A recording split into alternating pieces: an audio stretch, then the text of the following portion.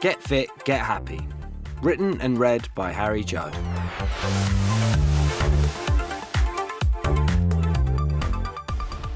Introduction This is the story of how exercise turned my life around. It's done that not because it's made me fitter, or because it's made me healthier, or because it's made me leaner and stronger, although all these things are true. It's turned my life around because it's made me feel better, and I think it can make you feel better too. We all know we should exercise, but so many of us don't. And although I'm a self confessed fitness addict, I totally get why people don't exercise. Many people find exercise intimidating, and they worry that they don't have the time or money to make a commitment to it. I'd like to show you that in order to exercise effectively, you can do it anywhere in the kitchen, the park, the gym, the office. You can do it with friends, family, colleagues, or by yourself, but you certainly don't need anything else. It can be simple and it should always be fun. I want to change the way people think about exercise. I want to encourage people to start exercising not because it will get them ripped or turning heads, but because of one positive benefit that anyone can reap, no matter how fit they are, no matter how old they are, no matter what shape or size they are. I want to get people exercising because it makes them feel epic. In fact, I'd go even further than that. As anyone who has ever encountered difficulties with their mood probably knows, and that's a lot of us, right?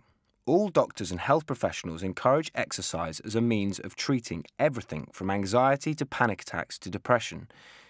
In many instances, exercise can be as effective an intervention as medication and talking therapies. But my philosophy is for anyone who, for whatever reason, finds that they sometimes need a bit of a boost in their mood. It's not just for those who have diagnosed mental health difficulties. Everyone has ups and downs in their lives. I firmly believe that a little regular exercise can go a very long way to helping us deal with those moments when life feels like it's getting on top of us. Those moments when we're feeling blue, stressed, tired, or just a bit out of sorts. The bottom line is exercise can be awesome. I want to encourage you not to worry about expensive gym memberships and fancy exercise gear.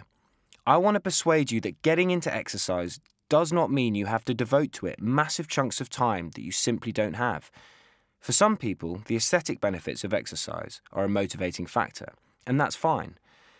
But if that's not you, I want to steer you away from social media sites where guys and girls post pictures of their perfect glutes that you find positively demotivating. I'm not saying you won't look great if you start exercising, but our measurement isn't going to be the size of our biceps, it's going to be the size of our smiles. Because whoever you are, from whatever walk of life, I believe that exercise has the power to make everything seem better.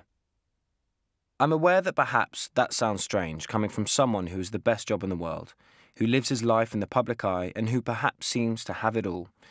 Fair point. I'm not going to pretend life hasn't been good to me. I left school at the age of 17 to join McFly, which would become one of the biggest pop acts in the country. I've spent my adult life playing to packed arenas of fans screaming so loudly I've sometimes found it hard to hear my own drums above the noise. I've toured the UK and the world I became a regular TV fixture in the living rooms of millions of people when I competed on and won Strictly Come Dancing. I met the love of my life. We have a beautiful family. From the outside looking in, my life has been great. More than that, it's been charmed. You'll never hear me utter a word of complaint about the hand I've been dealt. But lives are complicated things. They're full of light and shade, of mountains and valleys, in that sense, mine has been no different to a life that hasn't been lived in the public eye. In fact, I'll be willing to bet mine is probably not that much different to yours. This book begins with that thought. Over the years, like everyone, I've had my share of difficulties to overcome. From the outset, I want to be completely honest about those difficulties, how they've affected me, and the strategies I've developed to cope with them. By the time you've finished, you'll hopefully understand the massive effect exercise has had on my life and on my ability to deal with certain problems. Some of these problems have been self inflicted and of my own making, and I accept full responsibility for that. Others, I suspect, have been dormant inside me for a long time, as they are with many people. Whatever the truth, I find these issues extremely difficult to talk about.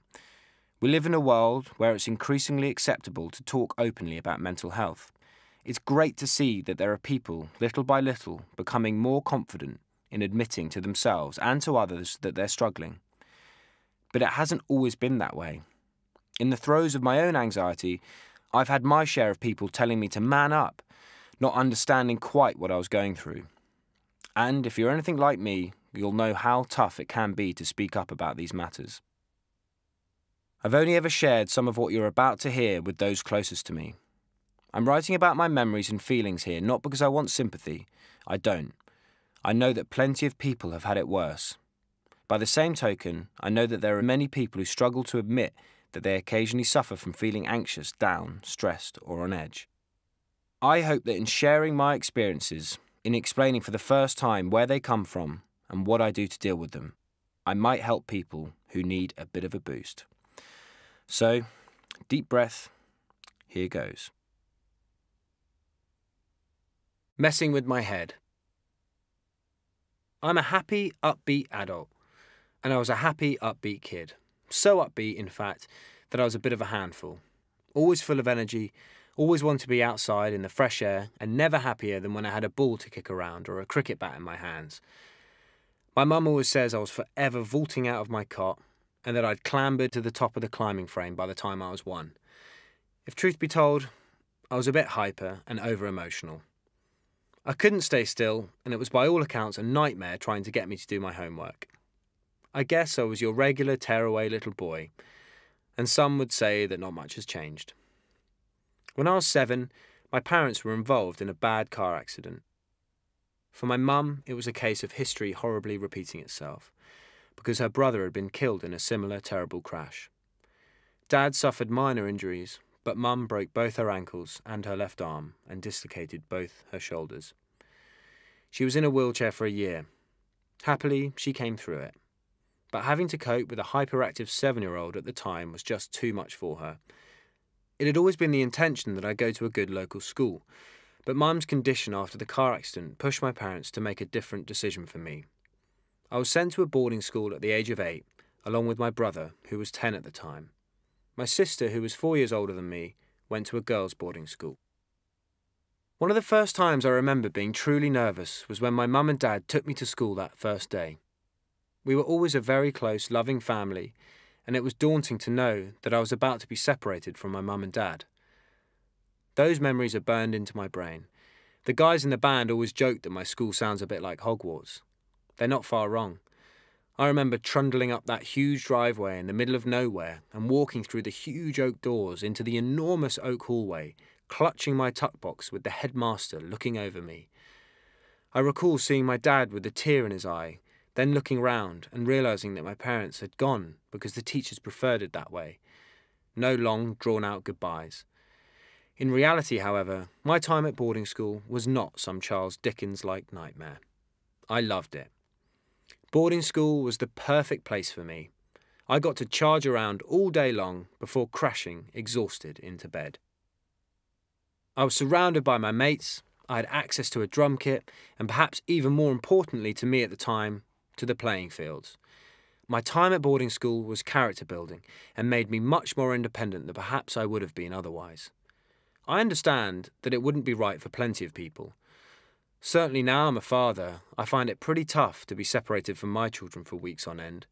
But for me, back then, boarding school was completely the right call. I enjoyed every minute of it. My point is this the anxiety I would later suffer was not a result of an unhappy childhood or some deep seated, lingering resentment of being sent away from home. I was your regular, boisterous, happy kid from a loving family given every advantage. I was very lucky. I was also, I think, keen to be seen as a cool kid. I was a bit of a rebel, naughty, but with a knack of knowing how to get away with it. This is probably why, at the age of 16 or 17, just as I was getting into bands, drinking, and smoking when I should have been studying, I began to dabble in marijuana. It wasn't very serious, at least it didn't seem so at the time. How could it be? All my friends were quite adamant that the weed we were smoking was non addictive. Really, it was just a bit of fun. We'd do it mostly in the school holidays, round each other's houses, hanging out with a joint after our parents had gone to bed. It was weak stuff and we didn't really see any harm in it. And then came McFly. A mate of mine, in an attempt to get his music career going, had headed to London to play for a guy who managed one of the biggest bands at the time, Busted. My friend found out that the manager was looking for a drummer and a bass player for a new band he was putting together. I decided to go for the audition. I needed my parents' permission first, and Mum was a bit reluctant. There were more important things to consider, like school and university, but my dad put her mind at rest. Harry will never get into the band, he told her. There was a queue of people outside the audition room. Although I did my best to look confident, I was nervous as hell inside. When I was asked if I could sing and play drums at the same time, I brazenly said that was no problem. In fact, my vocal performance of Busted's Year 3000 in that audition was about the most cringy thing I'd ever done. However, whilst I wasn't the best drummer at that audition, I wasn't the worst. Through a mixture of drumming and feigned confidence, I got down to the last two.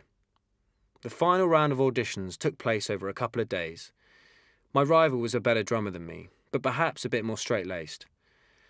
I decided to do what I was best at and concentrate on getting on with everybody. My outward show of confidence got me through. I was in. Joining McFly meant leaving school, a big call, and although to me it was a no brainer, my parents weren't keen. They wanted me to get my A levels and go to university, and I can certainly understand their anxiety. But I was desperate to be part of this exciting new opportunity, and in the end, my mum and dad gave it their blessing. So I dropped out of school, joined McFly, and found myself living in a fantastic band house with three new best friends Tom, Danny, and Dougie. I had money in my pocket and fame just around the corner. Life was sweet, and I felt like I was doing it justice. Too much justice, perhaps. Even as early as the auditions for the band, I had wondered whether tales of the rock and roll lifestyle were true, and whether smoking would become a more permanent fixture in my life. It did, and away from the watchful eyes of school and parents, I became a much more regular smoker. In the early days of McFly, we had quite a clean cut image. We didn't like to think of ourselves as a regular boy band, as we wrote our own songs and played our own instruments. But, as with the more manufactured boy bands, a certain level of behaviour was expected of us by our management. Behind the scenes, however, things were a bit different. My room in the band house was thick with the fog of marijuana smoke. I'm hoping that by the time you reach the end of the story, you'll come to the same conclusion as me that getting involved with illegal substances of any kind is a bad idea, whether you're of an anxious frame of mind or not. But I'm going to tell you the truth. I loved my weed. Smoking was a daily occurrence. Sure, being out there with the band was a blast, but even when I was playing to thousands and lapping up the adulation of the fans, it always felt good returning to the bandhouse so I could roll up and spark up. To me, it became a part of life. When our manager Fletch caught us smoking and quite rightly read us the Riot Act, we promised to kick it in. Some of the others did, but I didn't. This was the worst mistake of my life. People make light of marijuana use, and maybe it's true that the weed and resin I'd started out on was less damaging, but I wasn't using that stuff anymore. It just didn't give me the kick I was after. I was on the hard stuff, a few puffs of it and you'd be away with the fairies. Sound fun? Not really.